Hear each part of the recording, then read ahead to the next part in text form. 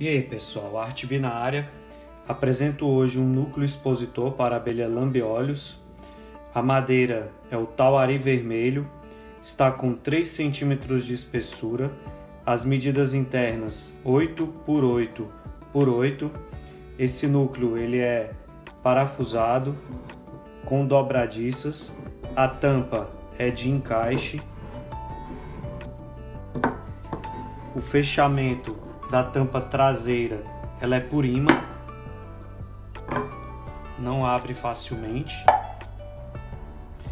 É, rebaixos para que você possa colocar, colocar as peças de acrílico para visualização do, do, da colônia internamente. E é isso, modelo bem simples aí para abelha lambiolhos.